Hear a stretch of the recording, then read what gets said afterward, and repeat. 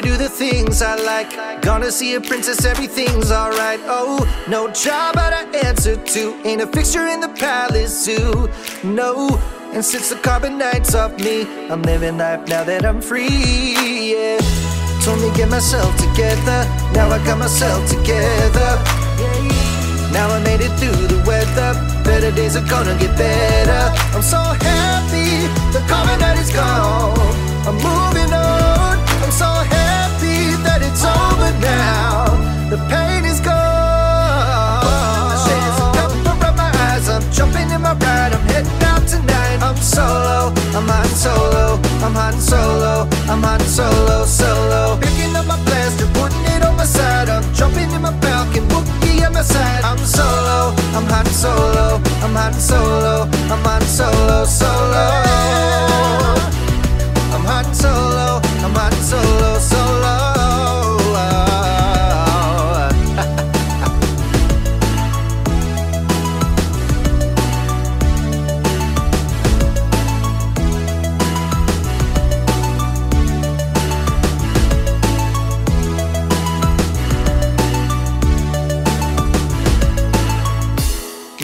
Feeling how I should join the alliance. It feels so good. Oh, stop feeling misunderstood. Back in the game, who knew I would? Oh, so fly time I spread my wings. Loving myself makes me wanna sing. No, oh yeah, yeah, yeah, yeah, yeah. Told me get my act together. Now I got my act together. Yeah, now I made it through. Better days are gonna get better. I'm so happy the carbonite is gone. I'm moving on. I'm so happy that it's over now. The pain is gone. Cover up my eyes. I'm jumping in my ride. I'm heading out tonight. I'm solo. I'm Han Solo. I'm Han Solo. I'm Han Solo. Solo.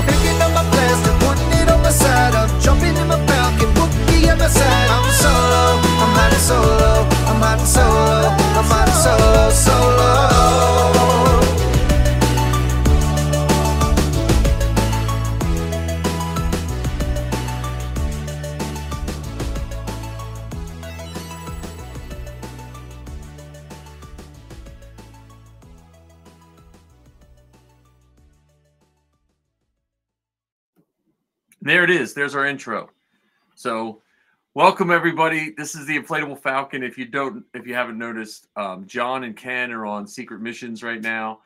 So I have uh, with me my friend Mr. Belfort, uh, or or Josh Belfort, if he as he goes by, um, and we're going to talk, huh? Yeah, Both I get called as guys. We depending on where we're at, we get called by our last name more than like sometimes I have to double think. Oh yeah, yeah, Belfort. What's his let? You know, so I get called Oh. Hinton. You know, so um, but uh, we're here. Um, we're going to talk Star Wars, and this is Josh. How many? Counting this one, how many podcasts have you been on? Zero. This is the first. This Oh, is one. first one. This one. One. Okay. Yeah, first one. Well, Yep. I, I mean, I was saying to my my daughters today, it's so nice to have another Star Wars fan at work.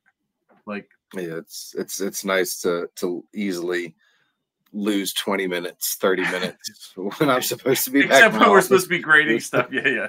Yeah, exactly.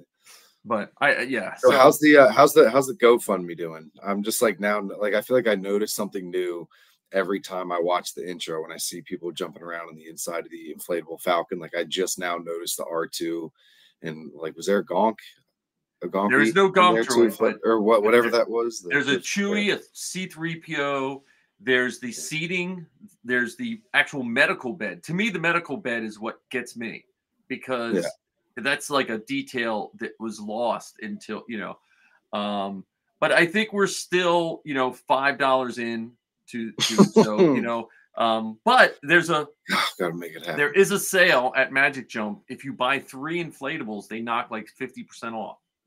So you can get you can get the inflatable Falcon and two other themed things, and I think it's like fifteen thousand dollars, which Mm. is which is like giving money away if you don't buy it. You know. right, right. So for the and I'll, for those, I'll put the link in our show notes um, on YouTube and um, in our in our podcast feed. But we do have a, a GoFundMe to try to buy an inflatable Falcon for me, Ken, and John. Um, it's for not a good cause. It's just for three guys that want to jump around in a giant Falcon and watch some of our previous episodes. One of the first ones we did this year, um, we had a um, Jose. Jose from Magic Jump jumped in. Yeah, that was a good one. And and he, he was a lot of fun. Um, probably that and the that and the Golden Tauntauns are, are working towards my favorite episodes of 2024. But this one's this one with Golden Tauntauns was solid. That was awesome. This this lots is, of lots of people involved in that one. yeah that's great. So anyway, so um since we have you here, uh Yeah, there we go. Okay. Well, you know, I mean, um, since we have you here, Josh, like I think either people know my story with Star Wars or they don't care by now. Like there's, you know, I've been doing this between Zoe and I, we've been doing this for eight plus years. Um, Uh, and I've been trooping with the 501st forever. So if, if people don't know my story, they either don't care or they, you know, get tired of me. But let I I would like to hear your in, entry level into Star Wars, mainly because when I first met you, I thought you were the guy that would be giving the, my people wedgies and noogies and shoving us in lockers because we like Star Star Wars. Wars fans are so, Star Wars fans are so judgy. So I know, of I like know. a little like an origin story, if you Yeah, will. give us your origin Um, story. it's kind of in, in two parts. Um, first one, uh, as a kid, I can't remember exactly how old it was. I'd say early elementary, mid elementary school, something like that, third, fourth grade, maybe. Um, watching The Empire Strikes Back with my dad in our living room. Thought it was cool. He let me stay up past my bedtime normally. And uh, it was the scene with the line, you know, the the no, I am your father line. And when I replay that memory in my head, I can see the smile and the grin on my dad's face as he and I'd been asking a million questions uh, as a little kid, having no real knowledge of it at that point. Um, you know, is this a, a bad guy or a good guy, or why is that person doing this? Just like all the really into the storyline and really liking it. And I can now see him grinning, watching me get my mind blown um, at that line. Um, and you know, throughout the throughout the rest of my life, I've just been like a really casual Star Wars fan. Um, never got super super into it. Um, I remember like Ninja Turtles and, and Ghostbusters and, and a lot of good stuff in the '90s that I was really into. Um, some Star Wars Star Wars toys here and there, uh, but the second part, like the when I I noticed my Star Wars fandom really take off was was two years ago. Um, so second part of the origin story would be your guys' episode of um, my Star Wars story. Um, I never knew that. I never. I don't think I knew that.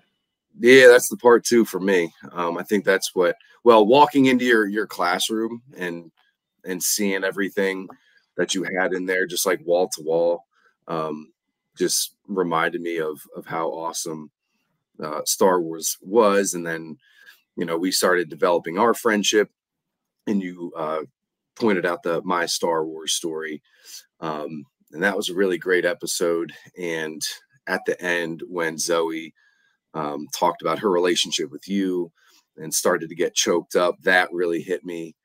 Um, I'm a really emotional guy. Like, as the older I get, the less I care what people think. So I'll admit that I've cried, happy cried at that that episode quite yeah, a yeah. times. Um, I have a, a one year old daughter and a son who's almost four. Um, so I know what it is to love your kids. And um, that's one of, if not the most appealing thing um, about Star Wars that's just kind of like, I don't know, contagious. And it's just been really snowballing in my life is the way that we can do so many fun things together and get into so many things. And he's constantly talking about stuff. And every time you send home, like, you bring like cool little things into me for school, like the like the trading cards, and he knows, you know, a little bit about Zoe and Safi's backstory as Jawas, and he, you know, like memorizes the trading cards and knows Zoe's Sabine and and all the all the fun stuff. So lots of uh, lots of good memories already starting to form. So that'd be second part. That's awesome. I'm I'm happy that the the the our Star Wars story is that is probably one of my top moments of my life is when they came and did that. Mhm. And that was one Yes. of those weird things where we ran into Jordan in Chicago and they did an interview on the floor and Zoe was on on the Star Wars channel and I just assumed that was it because Jordan had talked to her before. Oh yeah, I like to do an interview. And as a parent, you always try to guard your kids against disappointment. You know, so Mhm. I was like, well, okay, well, you know, if they don't, because, because, you know, I was like, what's the chances of, you know, and then they had it all set up and they came and it was, and the bad part is the crying part that you saw when they edited it. Mhm. That was one of the first things they did. And then they edit, they put it in all different orders. So some of the questions she's still kind of crying from. And- Yeah. And, and then they filmed when he came in the door. That was the last thing they filmed of the day, which ruined Oh, all wow. rea- that ruined all reality TV for me. There, it was like yeah. Well, like- it would yeah. So to the un, to the untrained eye, I, I wouldn't have I've noticed that at Yeah. the first look. So I understand why they would have edited. but yeah, that, that, that's that's uh, that was and that was that's what got us through the first part of COVID because they filmed that um Monday and I think everything closed down the next weekend. So Nice. and that's we were just waiting. We had I had to keep my mouth shut about something from March until like the beginning of April or middle of April. I had to keep my mouth shut. So that, that was that was terrible. That was that was pretty rough. yeah. I mean, you know, but so no, so that's an awesome story. And so to add to that, so where do you like so with with uh your son, does he know Anakin is Darth Vader? Yes. Um because he's just walked in on me watching so many different things. And um, you know, I've as you know, I've I've gone into Disney Plus timeline order section of Star Wars and just like burned through everything straight through like probably three times now in the past year, year and a half. So all the prequels, all seven seasons of Clone Wars and Revenge of the Sith. So he's just it's just always been on, and he asks so many questions about who's that. Um, is he a good guy? Is he a bad guy? Um, so yes, he's he's pretty well aware of it now.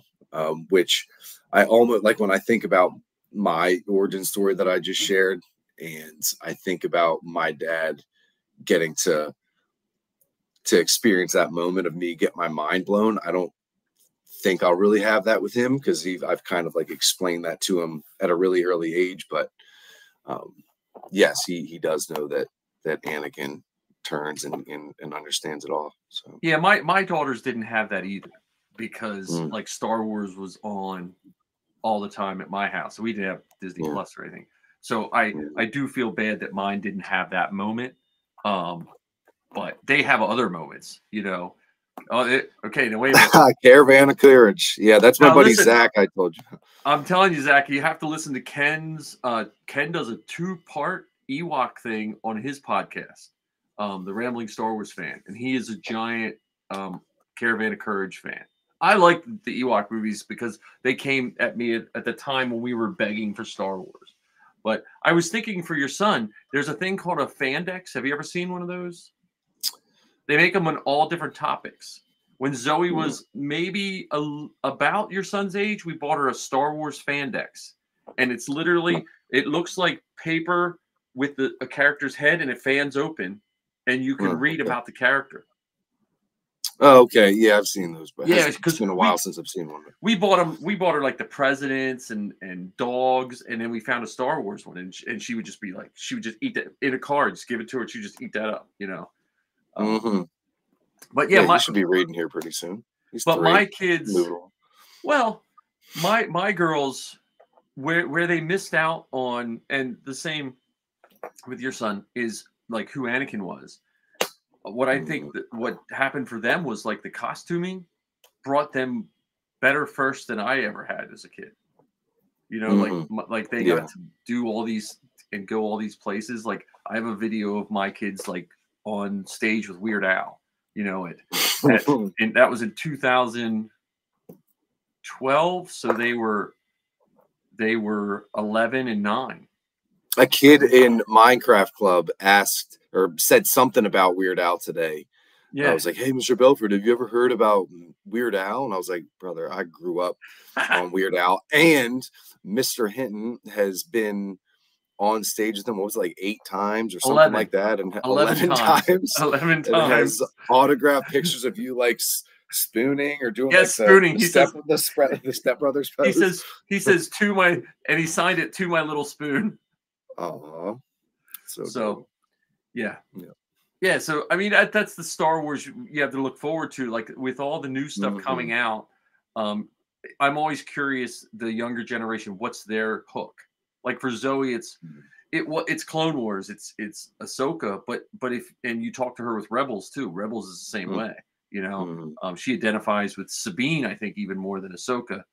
Um, and then the costumes, like again, Safi is is is um it the costumes are her. Like when she's in a costume, she's it. Mhm. So and Yeah, you'll be in that, you- that huh? Yeah, I've heard you talk about that before with her. Yeah, she'll be in. She'll be in it with. And then your wrecker. I was going to paint your. I was try. I was hoping to paint the O's on today, but I went out to the Uh-huh. garage. It was. It just felt so damp. I was like, I don't want to ruin this. I don't want to ruin No. this with with the damp. I don't know if it's started raining yet, but I thought I saw a little something on the radar. Yeah, it, was- it um, looked so later, nice driving home, and then when I got, Mm-hmm. I just got out, and it just didn't feel, you know, I, and I because I got to put a, I got to put a clear coat on it, and if that clear, if it's a little damp, and that clear coat fish eyes, or or Mhm. I gotta I got. Don't rush, don't rush greatness. man. Yeah. So I have a, I have a It helmet. looks have- so good already. I'm so I can't like it's like one of the first things I think about every day Yeah. when I wake up is the helmet. Well, I'm telling you, when you start doing it, I, I feel bad because you're gonna you're gonna it's gonna rub off some of the luster of what I do because you'll you'll become so good at it, and and you know you'll you'll you'll outdo what I do. I, I promise you. Um, thank you for the compliment, but um, Yeah, this is my buddy Zach. He um he's as far as Bad Batch, he's a big uh, crosshair guy. I think he said he has is it a custom Mando or you're working on like a, a custom Mando and you want to um you want to work on a Death Watch, I think. So big, yeah, Death um, Watch is a good one. yeah, um, Mandalorian. We'll have to have you guys to an armor party in the summer. Yeah, man. Yeah, another another friend of ours too, another childhood friend of ours, Arlo, um, has I want to say it's another a custom Mandalorian one that looks pretty similar to a Din Nice. Djarin. Um, Yeah, well, if you if if they're not in the costuming group or if they are, um, the nice thing about the Mandos is you can go through the Mando Mercs or you can go through um 501st, and depending on the Mandalorian, you can go through Rebel Legion. Like they fit in all three. They have CRLs for all three. Uh, yeah, Scout, Scout Trooper. Trooper. That's another big one. Yeah, I yeah. have, I have a, I have a Scout Trooper. Let me see right there. dude. Zach, look at all that. There's The the Scout Scout right above that. The uh, Ahsoka clone tribute. Uh, can't Uh, tell. Shore one looks- Trooper. looks, like a shore trooper. Yeah. And I have I have a, a, a crappy X-wing, and then I have the um, Poe Dameron. That's my stormtrooper helmet there. There's my. You know here. Do you remember that from the quiz? Who's that? uh, oh my gosh. No, That's Keely. That's Keely. My, that's. I'll have my. I'll have my chrome. I'll have my. Um. I'll have I my uh, Keely done. I'm hoping to have my Keely done. Oh, that's nice. I've I've Yeah. been looking. I've been looking still at. don't know. I still don't know. Do we we have to ask. Zoe. Zoe Zoe knows who that is. She I, I think I asked her and she's not here right now. I'll have to ask Yeah. her because she knows the exact person who it is. Yeah. Yeah, That's the only Blake I Blake well, here's Blake's one of my robotics kids. He took the quiz. Uh, Oh, do that- nice. He didn't do that well either. So my, I, my- I was embarrassed, dude. It was so embarrassing. I got my um my ship quiz was tough on kids too. I meant to bring it home so I could show you, but because I miss ha- I was I Mm. was happy when we split our class up because it was quieter, but I missed I missed having the the thing with you. So Is it cool if I like? I think I might have mentioned uh the podcast to one or two of the kids that were in my. I don't care. Yeah, the today. podcast is Okay. fine. Yeah, I don't. I yeah, don't. we're I family. mean, we're family friendly. Yeah, yeah. As long as we're not. I don't think I might swear. I'm if I'm probably the person with the worst mouth, and then it, as long as kids, if you're watching and John is vaping, vaping is okay. No, But besides that- bad. But besides that, um, yeah, we're pretty family friendly.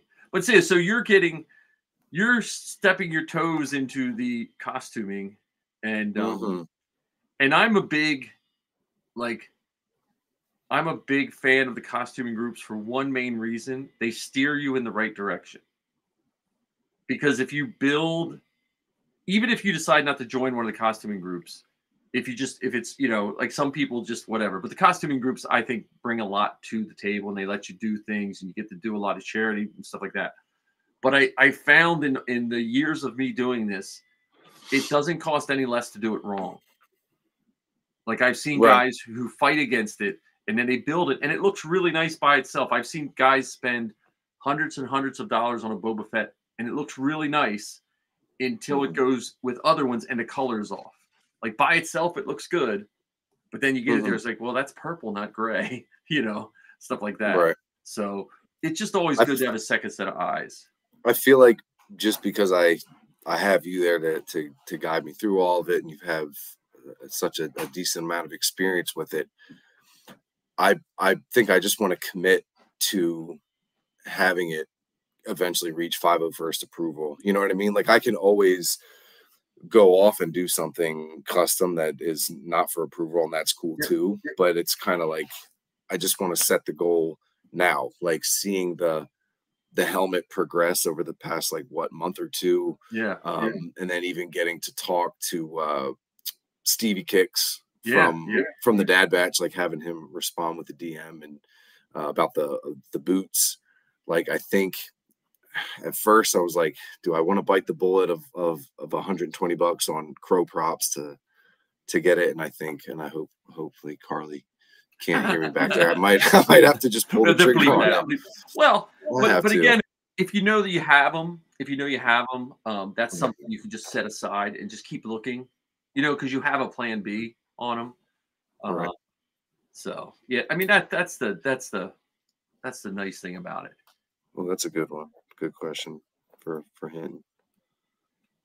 Do you prefer staying true to patterns or coloring, or allowing the wearer's creativity to show? So- I guess that would de- depend on if you're going Yeah, for. it, it all depends. Like so, like I love. There's a group called the World War II Troopers. It's a it's a group of stormtroopers that are patterning them after World War II. I love that Exactly, love that. customization. Mm, uh, and I love the customization of Mandos. Um, but when it comes to like stormtroopers, because that's what I do, I enjoy the just the same amount of effort that goes into making it look precise. Like it, I think they're just Right. they're the same thing. Like I, so when I did Sabine, Sabine was tough. The first four Sabines I did were so tough because they were all animated. So it's hard Right. to take an animated character that they can make bend or turn at any time and I do measurements Yeah. and proportions to get Sabine right. And so I enjoyed that part of it, but I enjoy the custom one because me and the girls have talked for years about doing custom Mandos. Um, and that's yeah, there's the a lot of potential to do a lot of really cool stuff with that. That's wide open. And what's nice with the Mando Mercs is they have guidelines for the customs, but they're pretty they're pretty easy guidelines, but it, it just just so they make sense. Like I don't know Mhm. enough about Mando lore, but they're like, look, if you have this helmet, it goes with this type of armor.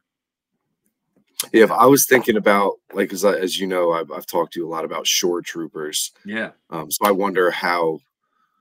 Well, I guess it, it doesn't matter because it's not. I, I think it would be really cool to do a custom one for that. I just I like, um, I like the the color wheel or the color pat- palette Yeah. with all like the the sand colors and and uh, like the light blues. I really like that, and it has the helmet looks so much like a, a scout trooper helmet, which is really really cool. Lack of cod piece. You is can also sit, that a bit of a draw. yeah. you know. Well, you Um, the- so I, I I think if I were to ever like eventually down the road uh do that, I think there's like I don't know on on the 501st CRLs there's what is there like eight different versions of it from from all the all the different stuff and so there's like so many little things from certain ones that I like but not from the other one. Um and then there's so the that- partisans, the partisans from Rogue One, with two tubes and all that. They're the they're the ones that pick up Jyn and take him to um, oh, I forget his name now, but they take him to him, um, and they're, they're dressed in like they have like a partial uh, scout helmet on and other stuff. ah the tubes. Yeah. yeah, okay, two I'm tubes and the and the partisans. so that's where the custom stuff, that's where the World War II guys come in. That's where like Matt Martin, who's been on our show, comes in where where he wants to film a movie, and we just want people that look Star Warsy. You know what I mean? Mhm. Yeah, Saw Gerrera. There, Blake Blake hooked me up. Saw Gerrera. I couldn't remember his name. Saw's in everything, and I forgot his name. But yeah, the Partisans took. um They were just they were just bits and pieces of that. Bounty hunters. Again, you can build a custom bounty hunter. Um Mhm. and like Ken has a custom Mando. Now he built a silver custom Mando before the Mandalorian came out, before he even saw pictures. And Mm. Ken was building a silver custom Mando. So his looks kind of like Mando, but it doesn't when you look up close. You're like, wait a minute, he has a cod piece. He has, but at, from for the average person. But I Do you have a signet or anything on either side, or I don't know if he has a signet. I I, I haven't. Uh, the last I I don't think I I saw his in person last May. That's the last time I saw it. Um, but this is the other thing I tell costuming people too, and it, this happens with all costumes. If you join any costuming groups, just be just know what costume you're getting into. So I know guys that they'll do a costume and it's super obs- obscure, and then they get upset that people don't want their picture with them you know, or they get called the wrong name. You know, like they like they'll spend all this money and it's a beautiful costume, but it's like a character from a book that no one read. And then people, you know what I mean? And then they're like, no one wants and and Safi has Fennec or um Ketsu. Safi is Ketsu. Ketsu is in like four episodes of Rebel, uh Rebels. She knows Yeah, not to not to wear that. She doesn't wear that when we go to like a library event because the average person doesn't know who that is. no? Like I'm googling, I'm looking that. Yeah, yes, that's Anya. it. There we go. Yeah. Uh-huh. and and she does Yeah. ketsu. And if she wears it, people are gonna be like, "We don't know who that is." So you, you have to know that it, it, you know, like if if I wear my uh, Keeley, he looks like a clone, and if a kid just calls me a clone, I don't care because Right. you know. But but some people get a little worked up with that. So I'm just a believer in build the costume you like, but just just be prepared. Like be prepared. I wanted a stormtrooper. Like I wanted a stormtrooper since 1977. I tried to build one in 92 or 93. Um, and oh, there's custom blasters, man. We need to just have Zach on the show, I think. That'd be an awesome show. So Yeah. I like custom blasters. Um, and what's nice with 3D printing now is uh, you can do some really cool custom stuff. I have I I do I did um I have five of them in my garage. I started building custom um Tusken rifles. Mm. The big long camel guns they use in Book of Boba Fett. Yep. I I printed one to one scale a photograph of the actual gun, cut it out, taped them all together, cut it out, taped it on two by twelves, and cut it with a jigsaw, a whole bunch of them. Mm. And then I'm just going to make a long. I want to make a couple long Tusken um, things because we had a Tusken build group one armor party, and a bunch of guys started building Tuskens. I want to try to do that again because I'd like to have I'd like to have an armor party in the summer where we do Oh. like everyone everyone gives like 50 bucks and everyone leaves with enough stuff to build the Tusken. So that's my that's one of my plans. Nice.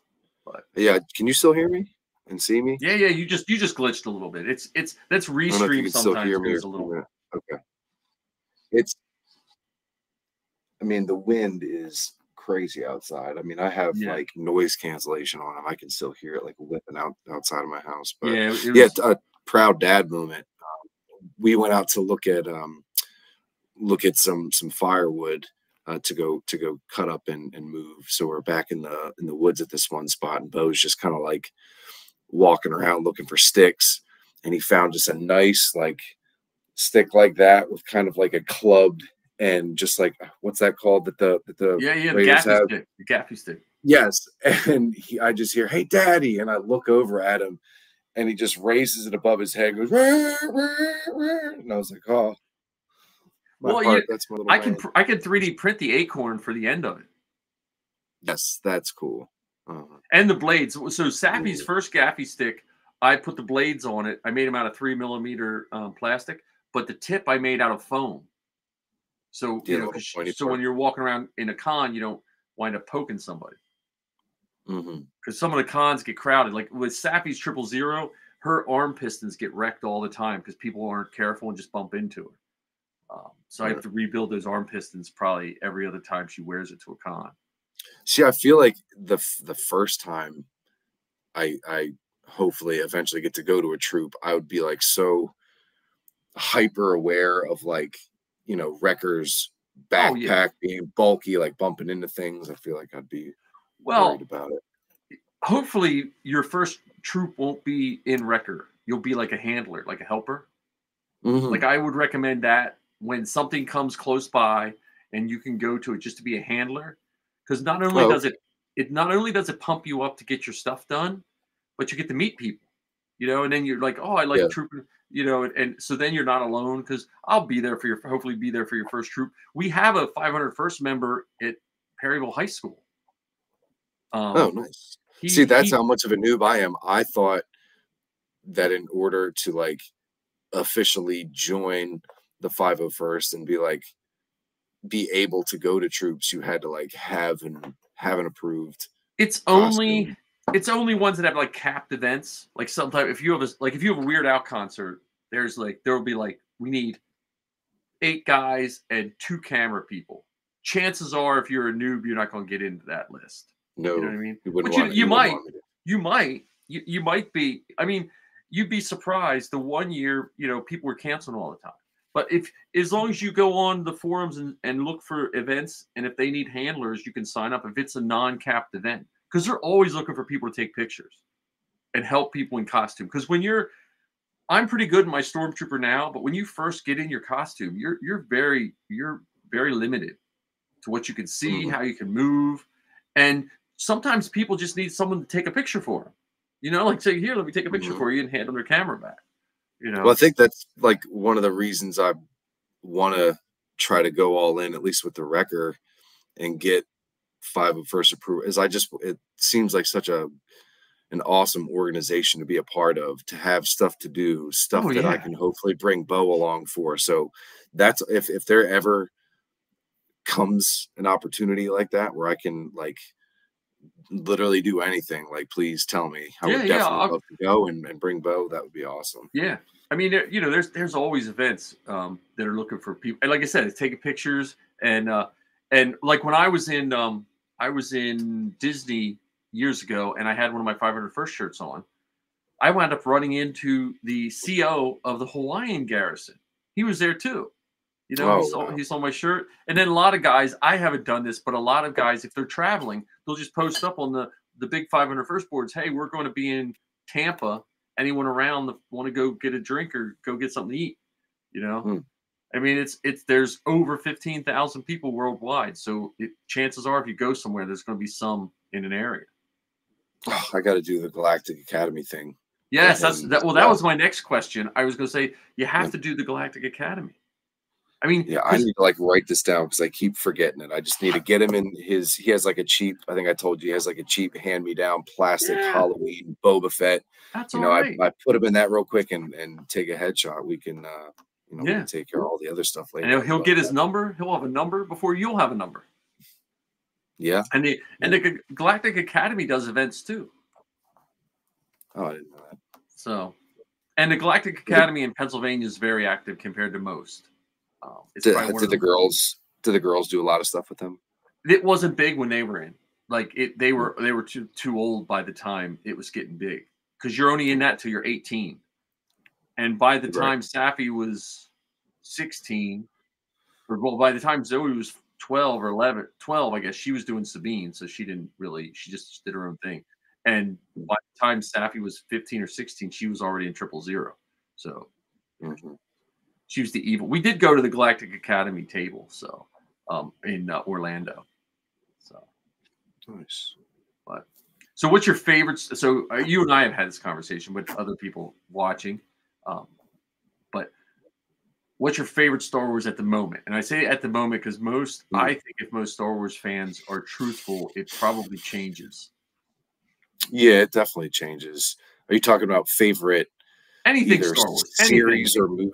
Hmm. And it could be series, book, movie, poster. it's a it's a toss up between I mean this this third season of Bad Batch is so good and because I I guess I un- identify so much with Wrecker, just personality wise. Um, it's either it's either between Bad Batch or you know the the only movie that it's okay to own 100 plus copies of just objective just objectively objectively the best thing in the Star Wars universe. You know, um, Revenge of the Sith is just, I mean, especially if you. But you didn't know which helmet was wa- that. You didn't know what the Revenge of the Sith helmet. I know, I know. I'm just- that I'm just embarrassing. Just, I'm just freaking gatekeepers. He's just gatekeeping, dude. Just gatekeeping, scaring people away. You know. No, um, I think it's got to be Re- Revenge of the Sith for me because watching, uh, I just finished like the seven seasons of of Clone Wars, and you already know what happens with Anakin, but like you get so attached to his character Yeah. through Oh, those yeah. seven seasons, like the depth that it adds to, to him and his his character arc, um, and just you know the the whole the whole plot of, of that movie and the way that it ends and just like from start to finish is so good for Yep. so many reasons.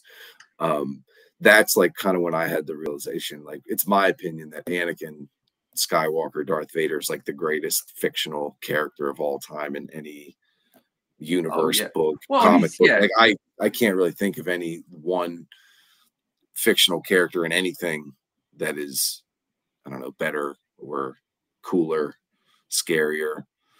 You know, and Yeah, and he's he gives you especially with especially with what the Clone Wars did. It makes not that he wasn't good before because I don't want to be one of those people that say you have to watch everything. But if Right. you have if you have doubts about any of the stuff in the prequels before you go like people go on YouTube and just make giant rants or re-edit stuff, watch everything. You know, like watch it watch it as a whole because Yep. I, I'm a, I I'm I like whatever George. I, I'm I'm I people make fun of me for this. Friends of mine, I have said snidely that you know I just wish I could like everything like you.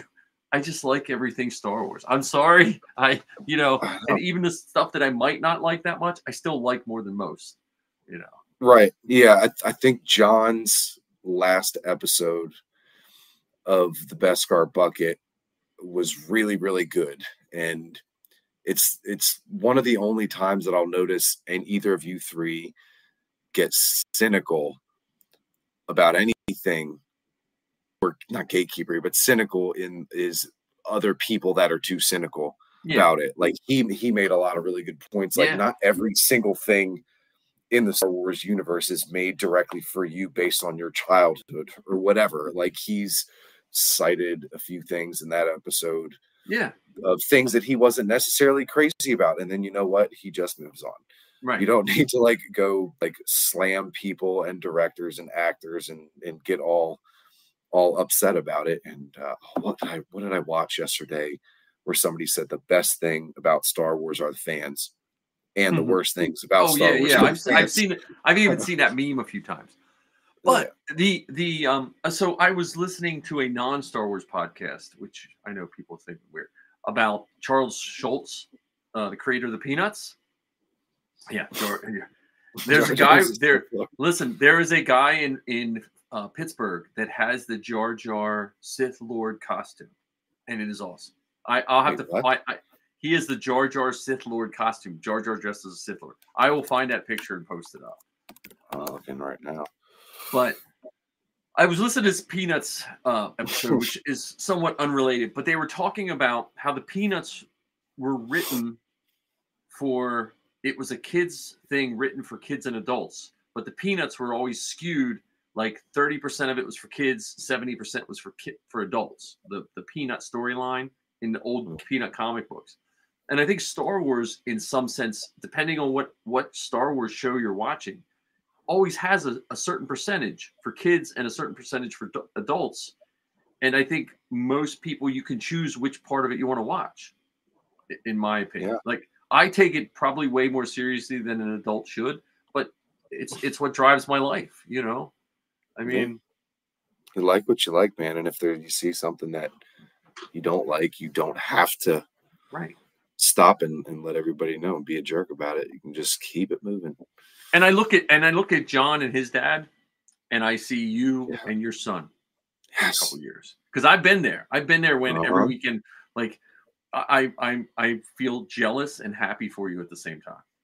I You know. know, I mean, that's what I mean with watching you and the girls and John and his dad, um, and even Ken talking about some of the memories with with his kids having to buy them Star Wars toys and then, and then buy him and they sell them back from it. Like all the all the the stories of of you guys with your loved one and your and your family is just like is what just keeps drawing me in more and more. I'm just taking notes with everything. Like I want that for my son and I so much. Um, so that's it's got it all comes back to family, as cheesy as that might sound. Yeah, well, now I have a Um, question. For, I have a costuming question for you. So Okay. Zoe does Sabine, and the one Mhm. thing that bothers Zoe with Sabine, Zoe has bright blue eyes and Sabine has brown eyes. When Mhm. Zoe does her Sabine costume, she has brown contacts that she wears. Yeah. Big white Are you, one. are you? That's what I was going to say. Are you going to get the dead And- eye, the dead eye and, uh, contact? yeah. yep. Okay. All right. I mean, if if I'm gonna if I'm gonna do that, you know, I was I was on uh the Stevie Kicks Instagram page and just looking. I mean, his stuff is so good. I've seen it um, up. I've seen it in person. It's it's even better in person. Yeah. Do you have do you have any experience with like the fake scarring? I don't know what they like- use. I, I mean, there's a stuff called dragon skin that you can actually you could make. We could pre-make the scarring for you, and then you just glue it on with a special kind of glue, and then you Yeah, that's- airbrush it.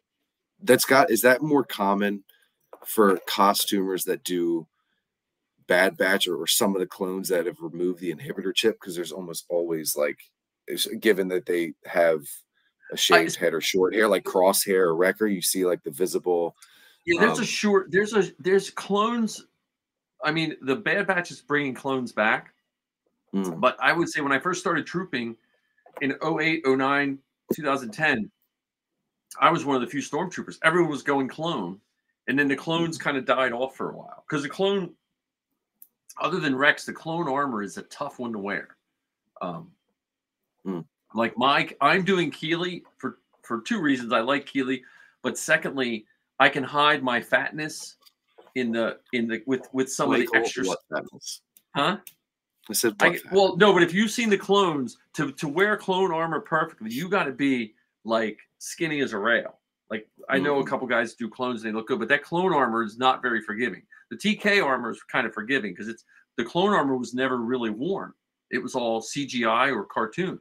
So the animated Mhm. clones, you got to be, you know, you got to to move. is it just is that the uncomfortability mainly just the, the cod piece? It's stuff, just the and it, it's like, around the style. It's midsection? the it's the style of that armor. Where if you look at the Bad Batch, they have a little more moving room in the middle. You know, like Mhm. their their armor, like like here, even on our screen, you can see Wrecker that midsection is a little bigger. Um, Mhm. and and again, once you get your armor, and then you find out what like you will we'll 3D print stuff, and you'll figure out what we have to, you know, do to make other things better. Um, Mhm. I don't know of anyone that makes vacuum formed armor, but the 3D printing we can mess around. We can do all sorts of fixing, and uh, you have Stevie and you have um, Barry. Barry. Uh, so there's there's at least two sources right there. So Yeah, he's he's one of Wrecker's one of my yeah, favorite characters. I feel like I've immediately just drawn to him because kind of like me, like I have some meathead tendencies. Like I was a bigger guy, I liked playing football. I, you know, lift weights and beating up nerds. fishing and I don't beat up nerds. Um, but he's also like such a softy. You know, Well- like he's wears his heart on his sleeve. He seems to like really be drawn to to Omega and like little kids and and that just always kind of like that combination of kind of being like a brute a little bit, but also a softy. Um, Well, and- and is- I like the Bad Batch, but that wasn't like the Bad Batch was one of those things that it- I watched it, but it wasn't until this season, and well, Mm. until the end of the last season, it started getting to me too. And what I noticed about it was, I think the first season of the Bad Batch, each one of the members they pigeonholed themselves on purpose. You know, like Wrecker was. If you watch the first season, he's seems really dumb and just big. Mhm. And then when they started, when they lost um, uh, Tech, but bef- even before when they, when um, there was just down to the short, he seemed to like not fall into that. Like he doesn't seem like the dumb brute anymore. Like, when was seemed- it? I feel like the the time the moment that I I feel like I really noticed like character development with him. What planet were they on? Um, where they were with people that were in hiding and they were like with some farmers. Was that se- end of season one or season two? Yeah, that yeah, that was um was that um Cut McQueen Cut McLean Cut Mc, the the clone that had deserted. Was that the farmer and his his I remember it was like him. Yes, and they're they're two little kids, and then Omega developed a friendship with them. Like that's like seeing them him in that that very laid back, easygoing, like rural farming lifestyle. The seeing how he interacted with the kids and how quickly he took to it. yeah. Um, and I feel like if if one of the clones were to stay and live the Pabu life out of all of them, it would be him. Like Yeah. you know, like he he seems like he would fit right in with with staying in a place like Pabu and you know going going fishing and just hanging out and chilling. So Yeah, yeah. um, yeah, he definitely developed for sure. But yeah, it's definite just like meathead right out of the gate. I want to blow something up. Well, and I, I think they were I think at first because if you I don't know if you can still find them, but they they released the original Bad Batch when Clone Wars got canceled. They had the animatics, which was like the stick drawings of them of the episodes, and they released some of them, um, saying that they were never going to be released. And I feel like they were initially just written as a uh, an homage to like 80s A team type shows. You know, like 80s Rambo, A Team, that kind of, you know what I mean? Like MacGyver. It was just like you took all the 80s shows and smashed them into one group, and that's how you got them. And um, and then I think people liked them so much that they they just made them so much better. Um, Mhm.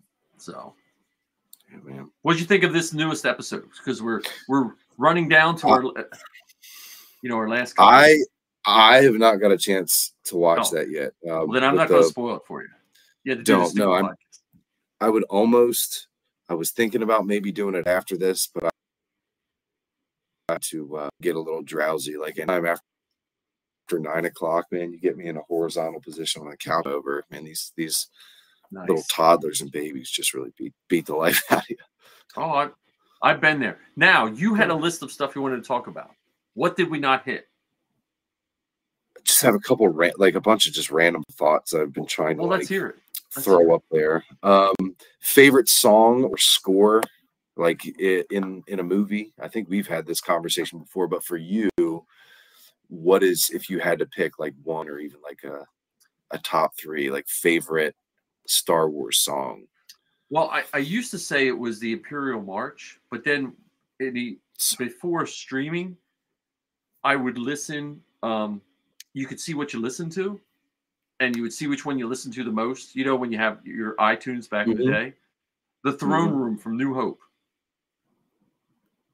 at the end when they get their roll. Oh yeah, yeah, it's pretty epic. It just makes me sure. happy. It just it just makes me it's just a happy song.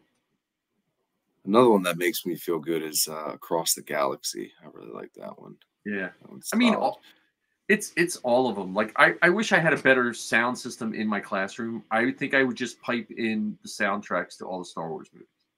Like I just, it just- play.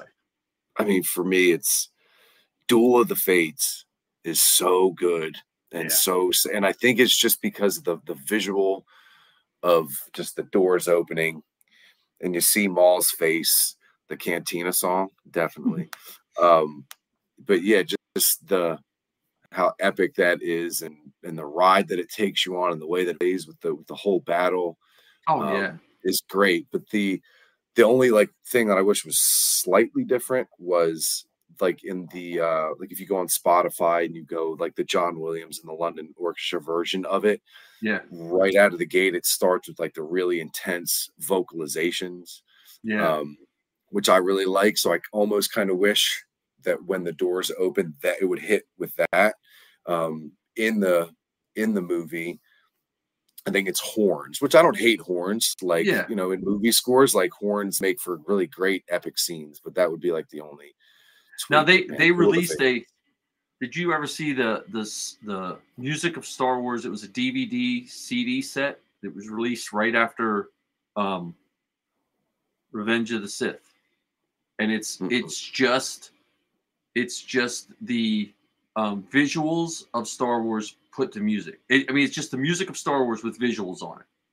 no, so it's just uh-uh. it's it's like they had a concert series that went around in the um right after that movie came out, and it's just it that called? on a DVD. I, have to find. I have the DVD floating around somewhere. Hmm. My Yeah, room is my so. Like it. yeah. I don't think. I think this is just a soundtrack. Yeah, this is just a soundtrack. I don't know. I got it at a yard sale actually, because I was never I was never a soundtrack guy because I just I grew up with grandparents that never listened to music. So yeah, There's a couple good good stuff. Hans Zimmer, like I really like a lot of the Hans Zimmer stuff, like that cornfield chase song Yeah. from uh, Inter- Interstellar is pretty great. But Duel of the Fates is always a go to for me if I have like if I'm doing a workout, like a weightlifting workout, and I like like last week I went for a, a heavier set on bench press, so like to get myself hyped up, I threw Nice. that on, and that one that one always helps. Um, I have- what else do I I have the, a whole bunch of those songs on my rotation when I work in the garage. So I um just Hmm. because I like I used to listen to podcasts when I worked, but then I would find that I was not working. I was just standing there listening. So I was like, I gotta put music on. Um, Hmm, let's see. I have the record album Star Wars and John Lithgow was the voice of Yoda. Wow. oh wow. yeah, yeah. Well, I have. Dude, Zach knows about a lot of like deep cut stuff. Like Yeah, Zach and I have close, Well, I- close since we were little kids, and I'm like just now learning how how deep he is into. yeah, they Star did the. It's awesome. I think Lithgow did the radio dramas and stuff. I have the cassettes. I have the Hmm. cassettes of some of them. Actually, I played a couple on YouTube not too long ago. I have the cassettes of Hmm. some of those. But yeah, I, they did the radio dramas. Um, yeah, it's it's good. Like record, like vinyl record. Is that what it is? Yeah, yeah, they did. You could you could buy them on vinyl, but most people bought them cassette or eight track. They just they just recorded. They took the script of Star Wars. They tweaked it a little bit, so you know it was before the um, audiobooks for Star Wars. It was that. Though I recommend audiobooks for Star Wars because they use the whole Lucasfilm um, sound library. So I need to do with um either Dark Disciples first or what was the one Star Wars timeline? The um, that's not well, an time- audiobook. Timeline's not That's the audiobook. Yeah, that's a visual. You need that for a visual. Um, this is okay. Here we go. Is episode eight fine? Yes. Nice. Um I don't know who. I don't know. I so I, I, I was I'm a bad host because I was going to look at all the countries that we send out to because there's like six countries that listen to us. I don't know how that's possible, but nice. so I was going to try to I was going to try to look at those. But I I like all the episodes. Listen, I know there's some people that don't like the um, new stuff, but uh, I also think some of the new stuff isn't for us. Like like Josh and I Right. are around kids all day. They they live in a different world than than even Josh lived in, and way different than what I lived in. And if they would have made a movie similar to the 1977 Star Wars, no one would have went to see it. Right. Yeah, You know. people need to calm down. Um, let's see. We got like what, like five ish minutes. Trying to keep we it, got- trying to keep it under an hour. We don't have to. Yeah, we, we, I can, I can, I can take care of it post. We'll be fine. Okay. I don't want your Um, first. I don't want your first show to be cut short because I have a few things I do want to talk to you. We'll end it with, but I want to hear all your stuff on your list. All right, I'll just blow through what I have. I have favorite ship, favorite non-vehicle ship, uh, or I'm sorry, favorite non-ship vehicle, um, scariest looking villain. Um, this is a really weird, like specific one. Most powerful non-dialogue instant in a scene, like a really like very Oh, yeah. specific, very short, powerful Yeah. moment. Um, the Yoda Grogu species, like planet origin speculation or theories, like if that'll ever, if we'll ever learn more. Um, and then a random thought, and maybe it's just just me seeing things, but in battle, like space, like ship battles in Star Wars, sometimes it feels like things get hit and like sink and go down, yeah. like there's yeah. gravity or something. Is that a thing that exists? Well, so I can I can address that one first. And George, when George first started making his space battles, he based it off of World War II gunner footage from the from the bomber. That's what it feels like. Yes, it's and that's like. and I don't hate it. It was just like, hey, if there's no, space, there's no gravity. we had we had this discussion in Star Wars group today because they were complaining about something like, and I was like, look, Star Wars is science fantasy, Star Trek is science fiction. Yes, and and I think that's where sometimes the Star Wars certain certain groups of the fans forget that that's like I like space stuff and all that stuff, but I, I don't like Star Wars because they told me how a hyperdrive works. Exactly. Now, when I watch when I watch Star Trek, it's you watch it with a different, you know, eye. I like suspending disbelief, man. Yeah. You know, like I life is life gets real enough sometimes. You right. know, that's like I think another thing I love so much about it is just I can kind of I don't want to say dissociate, but kind of living in that that space with it, you know. Well, and they use the technology in Star Wars to follow the story. Like someone's ship will run out of fuel in Star Wars only if it has something to do with the story. Someone will run out of ammo only if it has something to do with the story. You know, that's yeah. just, you know, like I don't need to see the guys in Star Wars doing their taxes or, you know, something like that. Going to the bathroom. Yeah. Yeah. You know, so it's all right. So yes, what else? There's a lot of a lot of random stuff on that list. Um, well, my ships, my ships go back and forth. Um, but it, it, I think it. Other than the Millennium Falcon, obviously. I was going to say the Other Millennium. The the Razor Crest is and and the Ghost are kind of I go back and forth on those, but the but the Ghost is kind of like the cheap answer to when you say no Millennium Falcon. You know mm-hmm. what I mm-hmm. mean? The Ghost is kind yeah. of like the Millennium Falcon for the younger kids.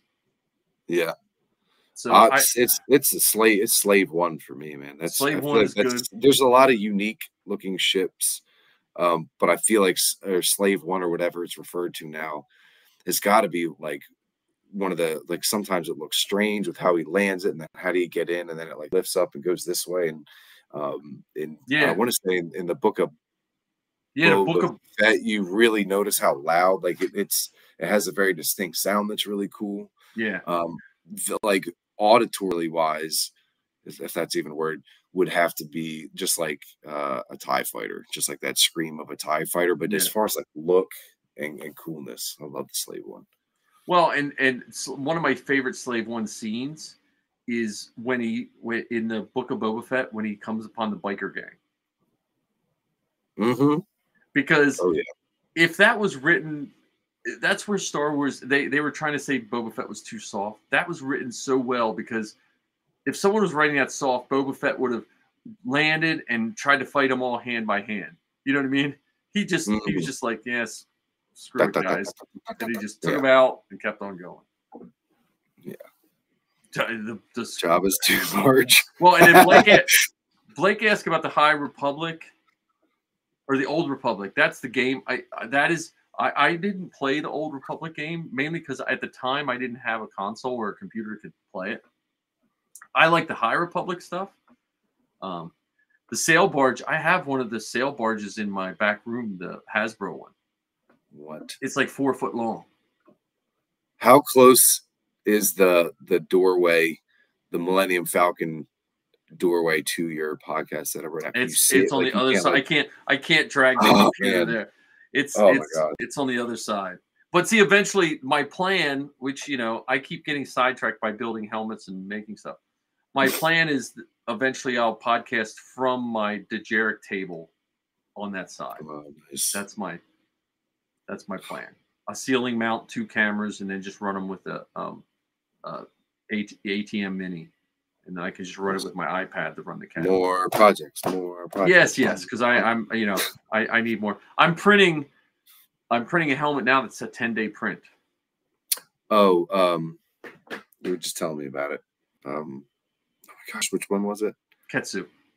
Ketsu. That's it. That's Ketsu. And then I have, I have, um, I'm, I'm, I'm toying with, um, a, another Bad Batch helmet, but I just haven't decided which one. Because I, I never really was a big fan of Hunter as much, but this episode, when he had his helmet on a lot, I was like, I really do like that Hunter helmet. Mhm. So, but I don't have the hair for Hunter. I'd have to get a wig. I just get a wig with a built-in headband, and it would just, it would just like go on like a Joe Dirt type, you know. what did you say? How about something a little bit more contemporary at the end, and he has like dreads or something like that? Yeah, yeah. That's a good one. All right, what other so so we got ships. What else? Um, You forgot to ask about blasters. I did.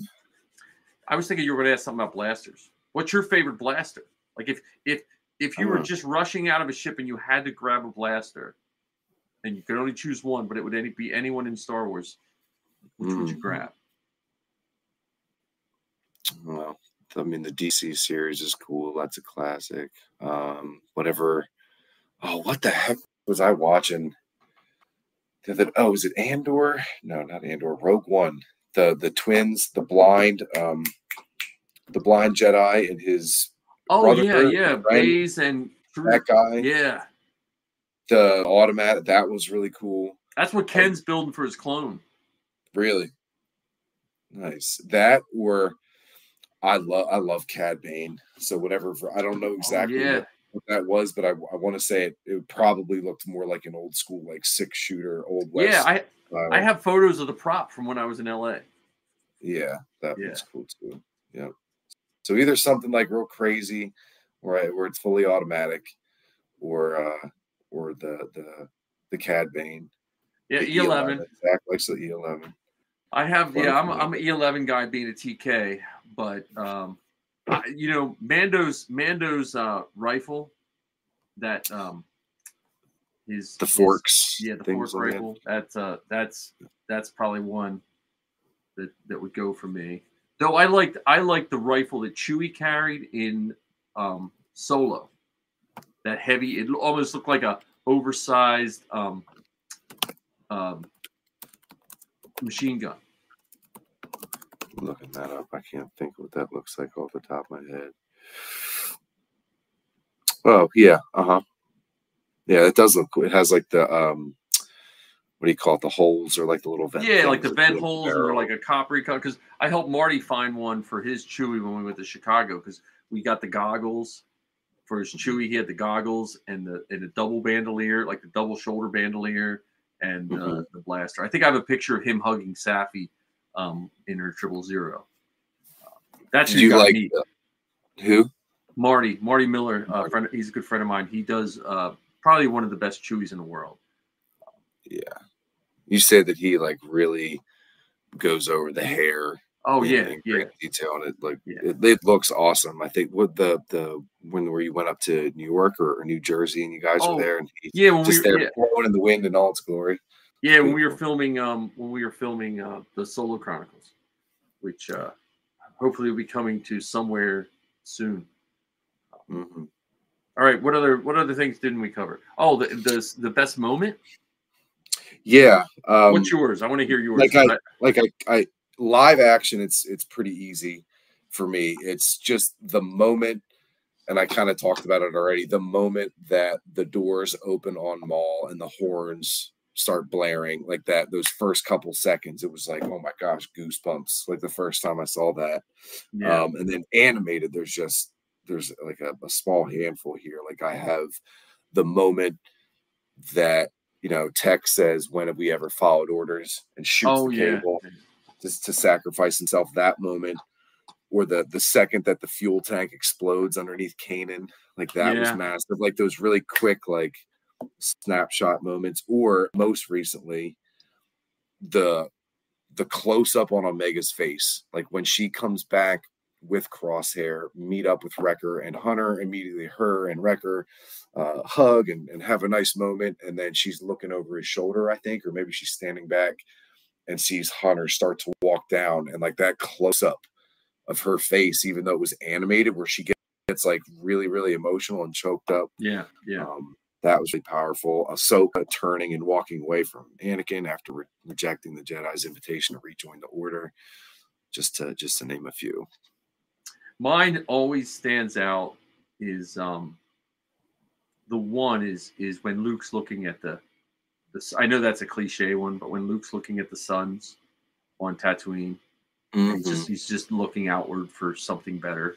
Um, when I was a kid, that got me, and and um, oh yeah, always. yeah, yeah, that's a good one.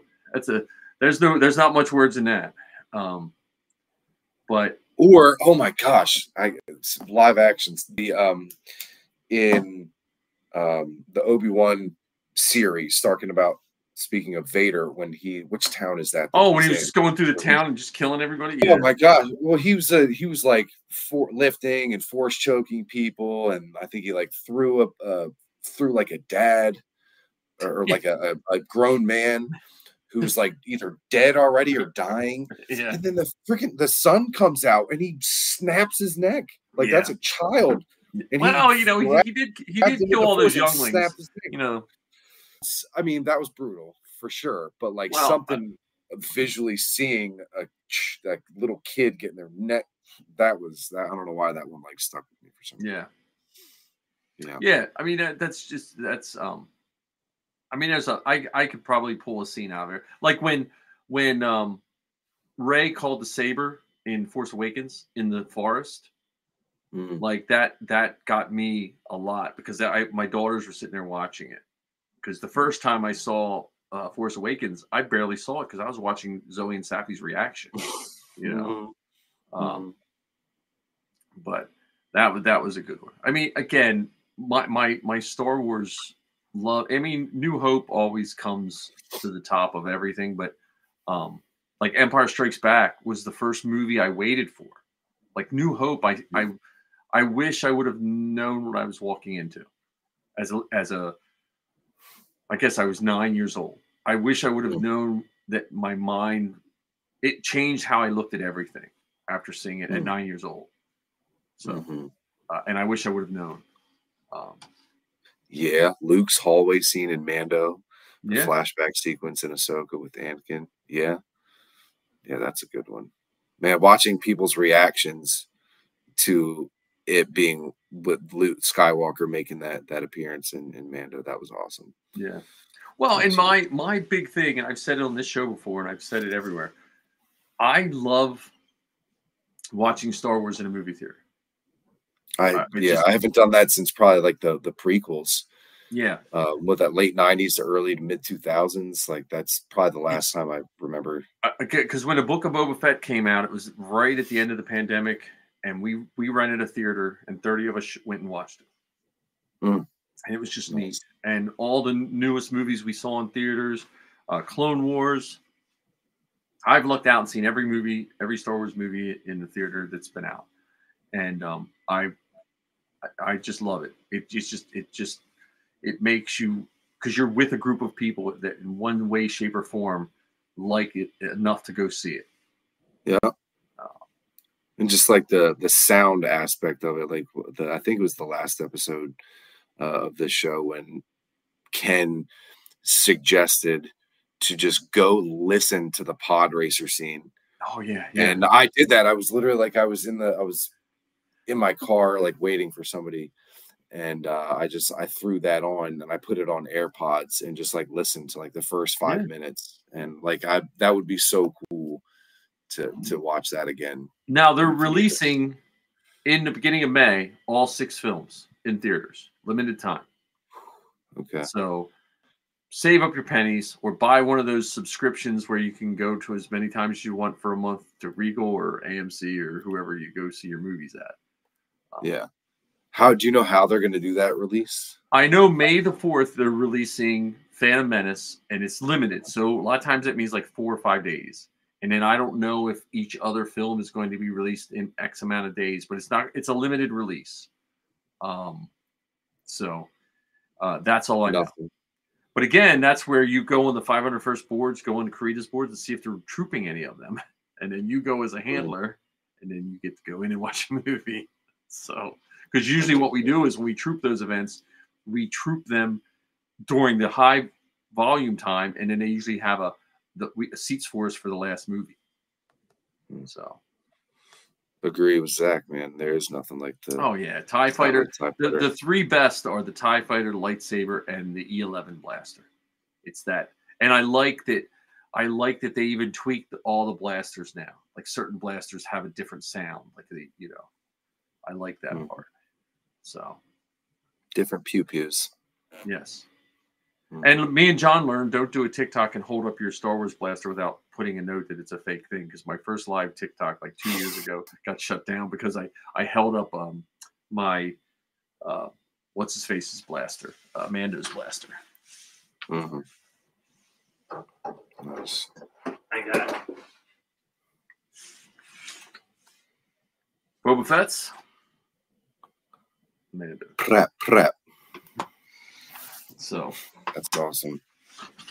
well, that's the other nice thing about costuming now because of 3D printers and all the stuff available, all the stuff online. You could you could do so much more. Where before, when I first started, you were beholden to X amount of companies. So Hmm. it does it does help out. And we cover everything on your list. Uh, scariest looking villain or the whole like Yoda's species thing. Well, Blake said something to me at robotics. Um, let me see. No, no, they're not releasing. They're, they're not going to relate, rate, erase any of those lines. That's why they have the story group. Um, most of the time, when people like they did that whole rumor uh, with the latest, what was it? Oh, with Acolyte. People were like, "Oh, it's," me-" and it's just people haven't read the books. But Star Wars, unlike many, many other franchises, has painstakingly tried to keep as much things canon as possible. And then when they went to um, Legends, what was nice about Legends was instead of saying none of this is canon, they just said this is Legends. And what people forget was when George Lucas was in charge, he didn't regard the books for anything. He, he said none of the books were canon. That's George Lucas, you know. Mhm.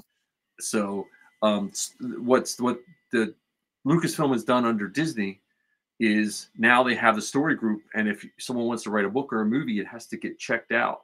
And again, the the one big thing they were pushing that one time they said um, uh, the comic book for Kanan was different than the Obi Wan story and this and that, and then but again, it comes down to well, no, it wasn't different. It was just this was one account and this was another account, and they're close enough. I mean, because with they they can't certain things you can't put it. You can put in a book, you can't put in a movie. But Mhm. yeah, I don't think Rogue One. I, I me personally, as much as I love all the old stuff, I'm I'm happy that they're spreading out. I want to see more of the stuff. You know, like more different worlds and more different follow throughs. That's just me. Agree. Yeah. Rogue One has the best costumes right now. Like if you if you had to pick one movie to like if if someone said just pick a movie and I'm going to pick a costume for you to build, there are so many great costumes in uh, Rogue One. Mark Hamill wasn't happy with what they did to Luke. Yeah, I, I'd have to read. I got to reread that quote because I still think, um, I still think like sometimes they take some of those interviews and they they just put the juicy bits in because Mark, if you read Mark Hamill's interviews about the first movies, he wasn't happy with George Lucas's writing. So you know what I mean? Yeah. Like Uh-huh. like I, I think I think sometimes some you know like he Mark Hamill has been Luke Skywalker forever, and I think he's happy doing it. But I sometimes think um, I don't know what they could have done with Luke that wouldn't. If I would have saw old man Luke doing what young man Luke did, I think it wouldn't have been as good. I was happy to see, you know, I've said this on this show. Luke went into that cave in the Empire with his weapons, and Yoda said that you know that wasn't a good thing to do. And I feel because he did that, he kind I don't want to say he cursed himself, but he kind of he went down a path where death and destruction kind of followed him around, whether he liked hmm. it or not. Right. So, but Yep. Yep. I mean, you know, I I, I like the the what Oh, I don't I don't know what they could. Me and Marty have this argument all the time, but I don't know what they could have done with the other stars in that situation. I, I didn't want to see 50, 60, 70 year old, 80 year old heroes doing stuff the same exactly that they did when they were in their 20s and 30s. Right. I think that would have been silly. Right. Except for Chewie. Chewie's like, you know, really old. But. Timeless. And scariest creature villain. hmm I have Grievous like, always what, Grievous always freaked me out. Um, I feel like Maul's a pretty obvious Yeah. one, like how creepy that is. I remember seeing that for the first Yeah. time. Um, Cad Bane's a really good, more, more particularly the the live action, like the Oh, yeah, close up yeah. on his face when he is in the uh the the duel with Cobb Vanth, like the close up of it. He looks he looks so creepy in that. Um and then what else? was- Bendu was freaky. Like imagine seeing a live Yeah, Ben- action yeah. version of Bendu. Like that's a such a strange creature. Or um, I forget the. I guess they would just call it the sun, the Mortis, the Mortis gods Yeah. sun, the dark side. Like that's kind of a real creepy one for me too. Well, Um, Bor Gullet was kind of creepy. From Rogue One, that creature that's like tortured people. Oh yeah, yeah, yeah. Uh huh. Yeah, Prime they the, the Prime Mando, but you know, I, I was I was um I was hoping you know I, I'm happy with what they did with Luke and Mando, but I, again I'm I'm one of those people I I want to see them move away from the old characters. Yeah. you know. Yeah. I mean, it's it's I, I just hope if they do any of those uh computerized people that the people whose likeness they use somehow their estate gets paid. That that's my biggest concern. I don't want I don't want um some actor not to be an actor because they are going to use a digital Mark Hamill for the next hundred years. You know. Yeah, they do that with what Tarkin. Yeah. Um, I can't remember the guy, the actor's name. Tarkin. Who else did they do that with? Was there was They there it like a Carrie small part with Fisher. Carrie Fisher. Yeah. Yeah. Yeah. And they had to do See, with- does it, didn't bother me at all. Like I don't, I don't know. No. I just don't understand how people get like how they could get upset about that. Like it's again space fantasy. Calm down. Yeah. Suspend your disbelief a little. Yeah, bit. yeah, yeah. It's in space. It's fake. You'll be fine. And again, this comes from someone whose house is filled with Star Wars stuff, who talks Star Wars twenty hours a day. yeah. So, Yeah. Um, if I can, if I can get over, I think most people can get over. Yeah. But yeah, there's a, there's a lot of scary things. Like uh, when I was a kid, the um, the uh, uh, what is it called? The the trash monster. It is called a. I forget what it's called now. The trash monster in Empire. That thing freaked me out when I was a kid. Googling. No, I just, I just, thought- I, I was looking. I have the action figure from the '70s, and I, I just was like, and I just said that name, and now I, I forget what it was called. Dianoga. Dianoga. That's what it is. Dianoga. If you go to Disney, if you go to, um, there's a Dianoga in the water tank where you fill your water bottles in, uh, in Batuu in Disney. You can see its, its eye comes up. So Yeah, that thing is real freaky. yeah, the Dianoga kind of that that creeped me out when I was a kid. I mean, the Wampa was kind of scary the first time I saw it in Empire, you know, because it was so quick. It, it was, you know, they did the they did the um slightly extended version, but the original one when I was a kid, it was so quick. You're like, whoa, what was that? You know, um, Mhm. that freaked me out. Yeah, Rancors are pretty nasty, but but Fett has one now, so that'd be cool. They had I forget who the, I think the Witches of Dathomir rode um, Rancors in one of the Star Wars games, um, Hmm. and then I think the Bad Batch had to rescue a baby Rancor. Remember? I think that was season two. They had to rescue a baby Rancor for somebody. Season one or season two? Was that like a Cid mission or something? Yeah, yeah, it was a Cid mission. Okay. I don't like I I I don't like Trandoshans, and Cid made me hate him even more when she when she uh, God, such a backstabber. yeah. Mm. But Yep. So I don't know. The only thing else I have left left is the Yoda Grogu species? Has Oh there- yeah, that's like, well, as, see, as kind of a noob, like, do we know?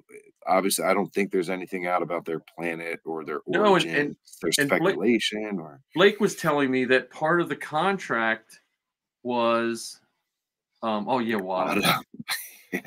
um, Blake was telling me that I guess part of the Disney contract with um, Lucasfilm, or when they sold Lucasfilm to Disney, was they weren't allowed to do anything with Yoda or his species, which is kind of cool. sense. Like I think some, I think some things. It's like I like Yoda that he's just a constant without much of a backstory. Like Yeah, he's in he's in the High Republic stuff. He's in the sequels, prequels, and he even shows up. You know what I mean? Like he shows he's just like a constant that does a lot, but you don't really know a lot. Like I kind of And I- think that's kind of cool. Like at times, like I just feel so curious about, it and I just want to know. Yeah. But I, I feel like if it ever something like that ever did come out, it might like I don't want to say blow it f- for me, but it would you know take away some of like the the mystery. But like with Grogu, who knows what they could do with his Yeah. character over time? You know what I mean? So? Now, yeah, there's Watto. Um, I was in the Keys this summer, and there a guy had a Watto hanging from the ceiling. It was one of those Pepsi premiums, like a life-size Watto, from where we rented our scooter bikes.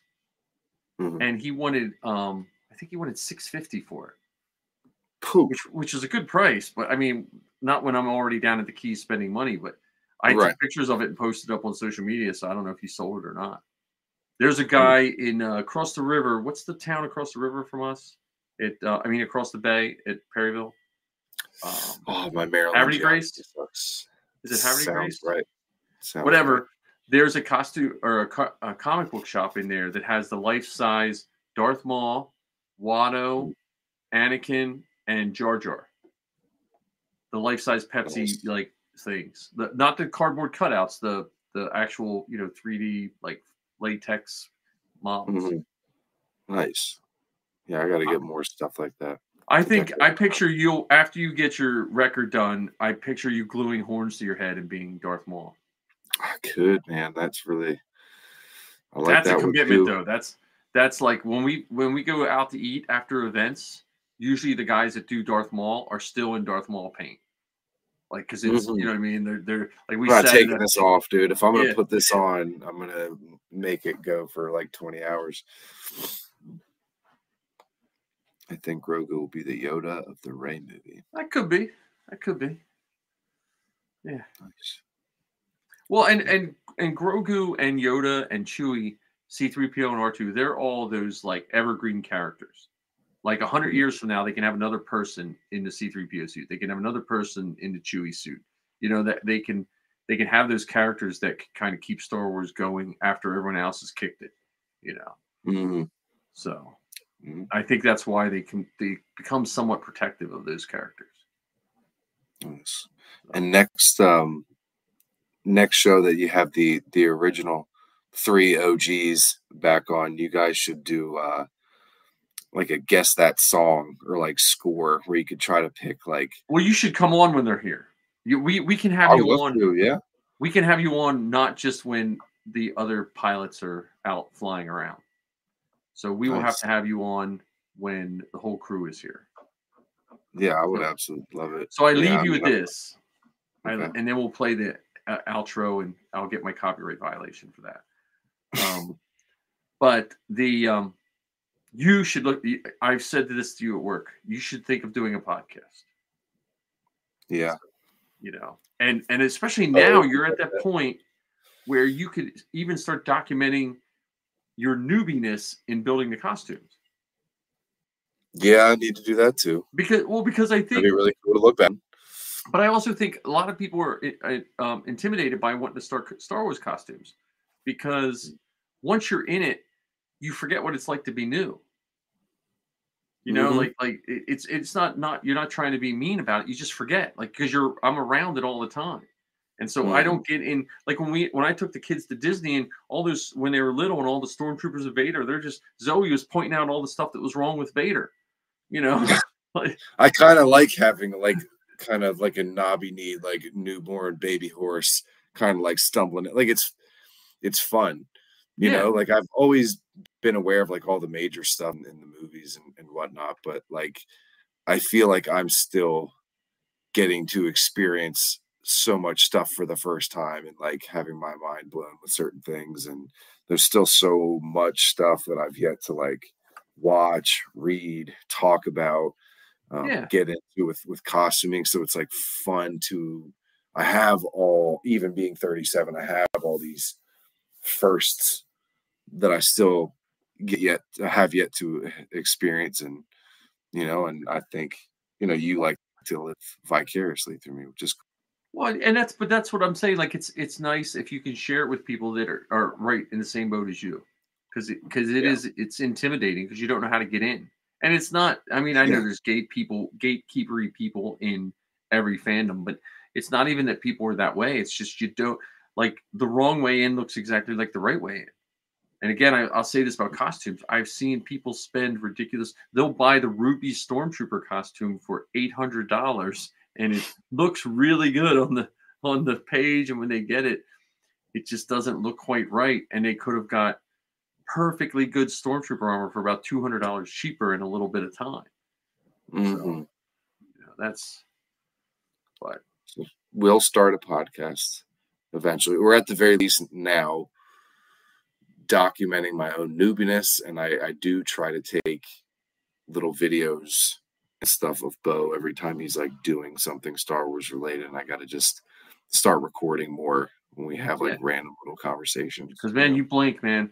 I bl- my kids were Jawas, and I blink, and they're uh, uh, Mandalorian and a and a protocol droid.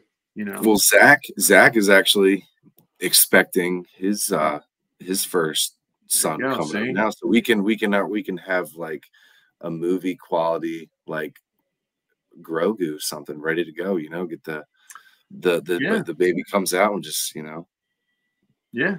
Yeah, it- put it in start- Start, you know, start thinking of those. You know, then then uh, you know his uncle can come dressed as Wrecker to the. yes, be a Lula, Lula, Lula, Lula, Lula doll. Yeah, yeah, yeah.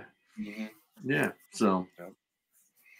all right, guys. So, um, I'm gonna don't leave, Josh, because we're gonna um, little Sith on the way. Yeah. Well, and again, listen. There's all kinds of costume groups. You can email me, Ken, John. Um, our our links are in the show notes when we put the show notes up, or find us on social media.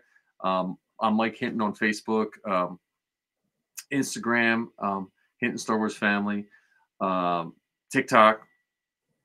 I've been lazy on TikTok. I got to get back on there. Um, but if you have any questions, if you want to, if you want to start a podcast, if you want to be on our podcast, let us know. Um, thank, thanks for the people that are watching, but please, please, it super helps us if you go and like it on, um, however you're listening to it or watching it. Um, put us some feedback. It helps us. We, we don't, you know, ask for money, but it, it, it, you just have fun doing this every week.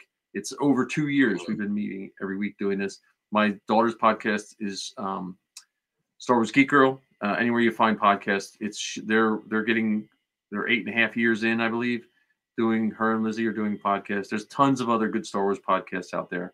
Um, you have the Beskar Bucket with John, and you have uh, Rambling Ken's Star Wars, Rambling Star Wars fan.